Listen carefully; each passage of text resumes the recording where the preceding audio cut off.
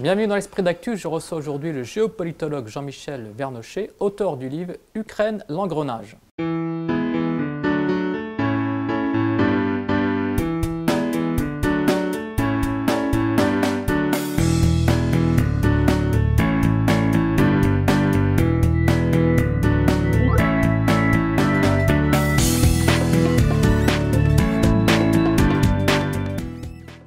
Bienvenue Jean-Michel Vernochet. Bonjour à vous, euh, bonjour à toutes et à tous. Alors vous êtes euh, géopolitologue, auteur du livre Ukraine, l'engrenage. Alors un premier commentaire sur les élections présidentielles euh, en Ukraine remportées dès le premier tour par le milliardaire Porochenko. Alors ce sont des élections, bien sûr, qui ont une portée limitée, puisque le Donbass, l'Est et le Sud de l'Ukraine n'ont quasiment pas participé à, ce, à ce vote.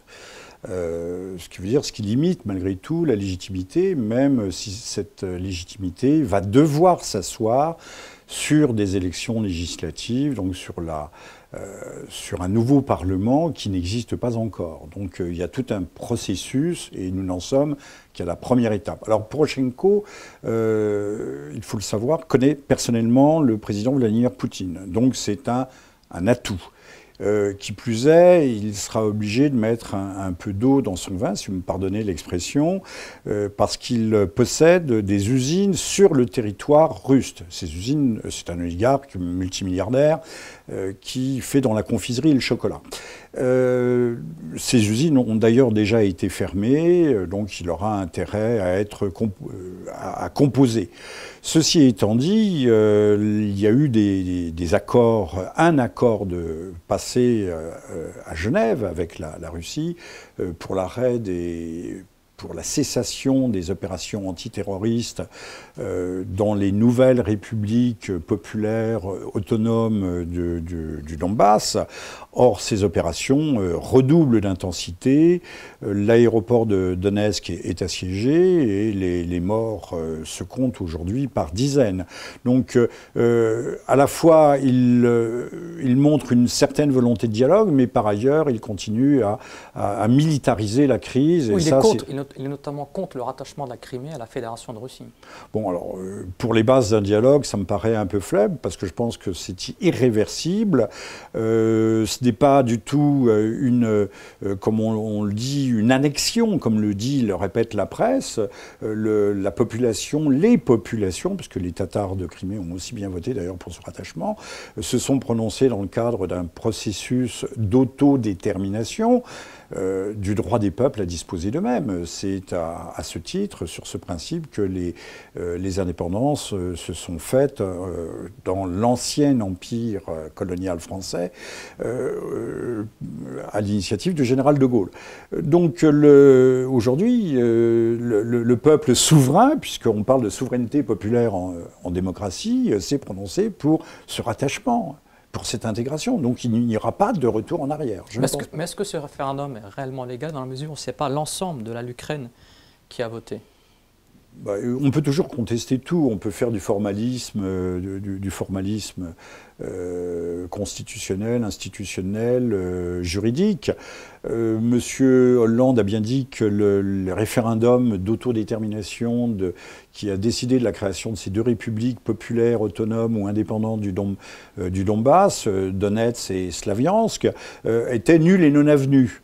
Mais à ce moment-là, euh, pourquoi a-t-on fait une guerre en 1999 pour euh, émanciper le Kosovo euh, alors qu'il n'y avait pas eu de, référendum Et donc, ce, qui est valable dans un cas ne l'est pas dans l'autre, et vous comprendrez bien que les règles dites démocratiques sont à géométrie très variable. Or, du fait de la tension entre l'Ukraine et la Russie, est-ce qu'on se dirige vers une guerre commerciale entre ces deux pays la, guerre commerciale, elle, a déjà commencé, elle est bien entamée, puisque euh, l'Ukraine euh, avait des tarifs préférentiels pour le, pour le gaz, euh, que ces tarifs préférentiels ont été haussés hissé au niveau des, tarifs pratiqués sur le marché international, même peut-être un, peu supérieur, et que maintenant, pour que les livraisons de gaz russe soient effectuées à l'Ukraine, il faut payer d'avance eu égard à la dette qui se monte à, à 1 ou 2 milliards de, dollars.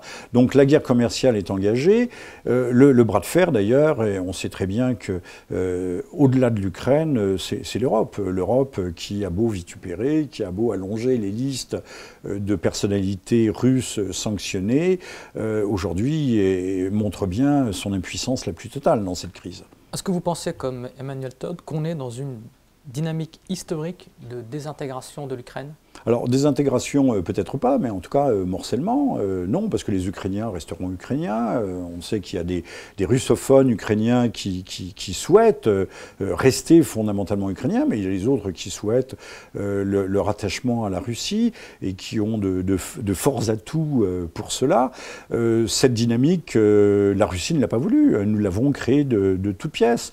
il ne fallait pas donner le choix initialement parlant, initialement, à l'Ukraine entre euh, l'Europe ou la Russie. Euh, avec une, un caractère d'exclusion entre les deux, entre les deux, euh, les deux alternatives.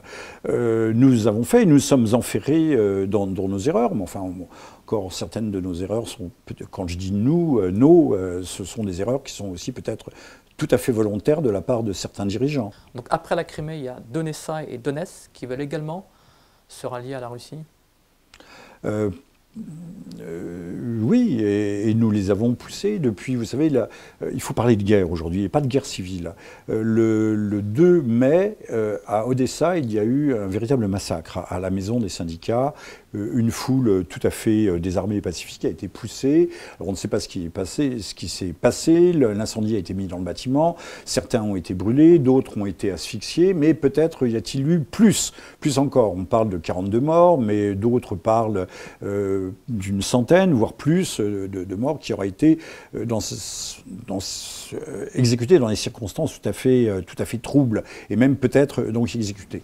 On a peut-être assisté là à une tentative, à une provocation majeure, un, mini 11 septembre à échelle de, l'Ukraine pour pousser la Russie à la réaction. Ça s'appelle une provocation, sauf que la Russie montre un certain sang-froid.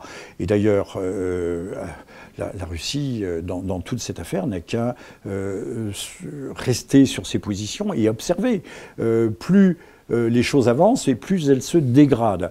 Donc depuis cette affaire du, 2 mai à Odessa, c'est l'incendie de, cette maison des syndicats, on voit constamment des escarmouches, mais qui sont plus que des escarmouches. Euh, le lendemain, une semaine après, à Slaviansk, c'était un checkpoint qui était euh, attaqué. Il n'y avait, avait qu'une poignée de morts. Mais euh, depuis, les morts se comptent encore une fois par dizaines, voire par petites centaines. Je ne sais pas ce qui se passe à l'heure actuelle aux alentours de, Donetsk et de l'aéroport de, l'aéroport de Donetsk. Toujours est-il qu'on sent bien qu'on est dans une dynamique qui va crescendo, que les choses ne sont loin de se, loin de se calmer et que M. Porochenko, dès lors qu'il refuse le dialogue absolument avec ceux, qu'il qualifie de terroristes, à savoir les, souverainistes, indépendantistes, euh, on ne voit pas très bien comment nous pourrions euh, sortir de la crise. Et là, les choses deviennent franchement inquiétantes. Alors justement, dernière question, quelles peuvent être les conséquences géopolitiques du rattachement de la Crimée à la Russie? Alors, il y a déjà des, conséquences. Nous parlions tout à l'heure euh, d'économie, même de géoéconomie. Euh, outre que la Russie euh, peut, si cela lui chante, fermer le robinet du gaz à l'Europe ou dicter des conditions qui soient des conditions léonines. Alors, bien sûr, l'Europe a des solutions. Elle peut importer, comme le fait l'Allemagne, de la houille depuis les États-Unis. depuis que l'Amérique a des gaz de schiste, ils ne savent plus quoi faire de leur charbon. Donc, ils l'exportent à vil prix vers l'Allemagne.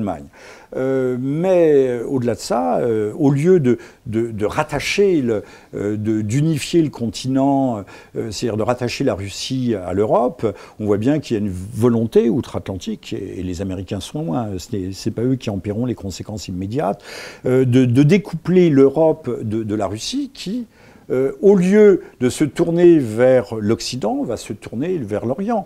Un, méga contrat vient d'être passé avec Pékin de 400 milliards de dollars. Alors bien sûr, c'est échelonné sur 20 ans ou 30 ans pour des livraisons euh, de, gaz, mais on voit bien que la Russie va réorienter son économie vers sa profondeur de champ stratégique en Asie et pas en Europe. Donc nous avons la, première conséquence géopolitique, c'est que nous avons, euh, nous, nous, rejetons la Russie et, nous, euh, nous allons arriver à, voir se constituer un bloc eurasiatique Russie-Chine qui en fait est la hantise des Américains et des Occidentaux. Merci à vous Jean-Michel Evarnoché. Alors je rappelle, vous êtes l'auteur de cet ouvrage Ukraine, l'engrenage aux éditions Sigest.